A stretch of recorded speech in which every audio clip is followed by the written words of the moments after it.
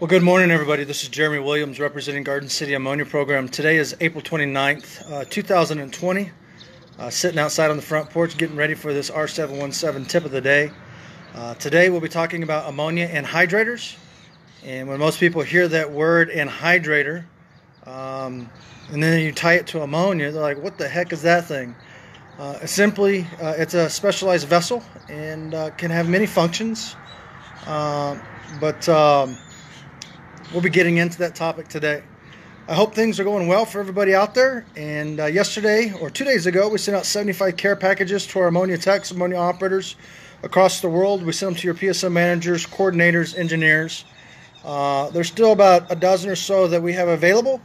And if your plant wants an ammonia operator care packages, it's going to have hats, shirts, uh, saturation posters, charts, all kinds of goodies inside of it uh, contact the office or get on the website and fill out the form that's appropriate for the appropriate addresses going out there. Well, it's a beautiful morning here in Garden City, Kansas. No wind, and uh, going to get a lot done today. If you guys haven't been checking out our post on what's happening with our changes, um, we got a lot, a lot happening during the slowdown here at GCAP. I'm uh, going to come in here and walk into our main engine room and show you the anhydrator. Uh, but walking into the hallway, I noticed the beautiful Harley Davidson that GCAP purchased that's going to be given away July 17th. Now, when we look at July 17th, that's the month of July, which is the seventh month, 17th day, which stands for 717. And when we look at the 717, that just happens to be ammonia's lucky number. Well, guys, you got a chance to win it. Come to the safety day, Kansas City, Kansas. Um, if you've been a past GCAP student, your name's already in the hat. Uh, we're only allowing 450 registers for the safety days. So first come, first serve. And if you're not registered, you don't get in the door. So be there, be square. 13 different training topics will be taking place. Over 15 different presenters will be there, 50 different vendors. Uh, it's going to be a phenomenal time. So I'm walking into the original engine room and uh, lots happening, so excuse our mess. And if you're watching this video later on in our YouTube feed, um, you know, this is during a change out of some systems. Uh, our housekeeping is normally not of this level.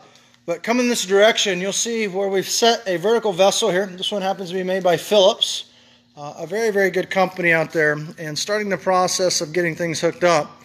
It's uh, quite a unique design. And essentially what it is, is a vessel with a subcooling coil inside. And uh, we have the opportunity to do batch processes and we'll put some ammonia in it. And just like making good old moonshine, when the ammonia cooks out of this tank, and uh, it's going to leave its impurities behind, referencing liquids and solids. So coming off the bottom of the tank, you'll see that we have the two one-inch pipes uh, that are being welded in yesterday by Todd that's on the left and the right. If I come back here and I look straight vertical, you'll see a cut in the liquid transfer line that will be feeding the low pressure receiver over here, some of us call the recirculator. So that line up there that's lime green could be high pressure liquid or medium pressure liquid, depending if the system's running single stage or two stage. And what we'll do is we'll be taking that liquid through this tank, creating what we call a subcooling effect. Uh, probably going to cool down the liquid by 20, 30, maybe 50 degrees, depending on the application. And if there's any liquid ammonia in there, it's going to flash off. Over here on the left, you'll see the float from H.A. Phillips on the feed. So where my finger's going right now, this feed right here will be connecting to the main pump discharge header. So we'll be taking batch processed liquid from that tank that will be sitting in that shell. And when the warm high pressure liquid runs in this pipe and comes out that pipe and it's subcooling coil, it'll cause the remaining liquid ammonia in this tank to flash. Essentially all liquid impurities, water, oil, rocks, welding slag, solid impurities will all stay behind. And it's a batch process and gives us the opportunity to remove gallons of impurities, referencing water instead of grams of some of these automatic purgers that are on the market today uh, that have been developed. Nothing wrong with their products. It's just when you have a 10, 15, 100,000 pound ammonia system and somebody's got one, two, three, God forbid, 15% water concentration in a measurement, uh, that is a lot of water inside of that system. So when you guys come back, System A's anhydrator should be finished plumbing today. Uh, a lot of good things happening. Just put a post out a few weeks ago on a hazardous assessment on inspections and testings of some of the pipes that came out of here. Uh, you'll be seeing that come up on our PSM website. Uh, many different ways water can come into your pipes, taking bad charges, running in vacuums, bad pump downs, broken heat exchangers, uh, bad evacuations after maintenance, etc. Most of that stuff comes out of our Crow Book 2. Uh, but nevertheless, um, I hope everybody has a good day.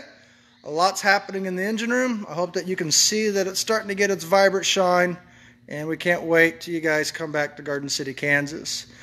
So just to recap here, July 17th is the Ammonia Safety Day, Kansas City, Kansas. It's National Ammonia Operator Call and Sick Day. Get registered if you haven't. If you enroll three, you get two free, 35 bucks a person. You don't want to miss the opportunity. Eight hours of training. It's good for your engineers, safety, contractors, PSM, maintenance managers, ammonia operators, new employees. There's all kinds of topics that everybody can learn. Hope you guys have a good Wednesday. And uh, until we see each other again, keep it in the pipes. And why don't we have another drawing today? Uh, I think we're about out of our hats, but I'm going to make it happen. We've given them all away in the care packages. Either going to get you a sweet GCAP hat or you're going to get you an R717 for life hat. If you want a chance, here you go. I need you to like this post. Number two, I need you to comment another Ammonia Tech's name on this post. Uh, put your favorite number that's next to that name between 0 and 300. And last but not least, it really helps us out when you share these things. Uh, you know, a training institute like GCAP during this downtime is the first thing that gets cut. And hopefully we can keep educating the world by you helping us. Till then, take care.